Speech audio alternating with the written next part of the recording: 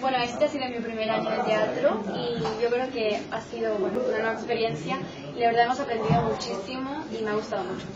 Es una cosa que si no lo pruebas no sabes lo que es en realidad, así que creo que ha sido para las dos muy divertido y nos lo hemos pasado muy bien.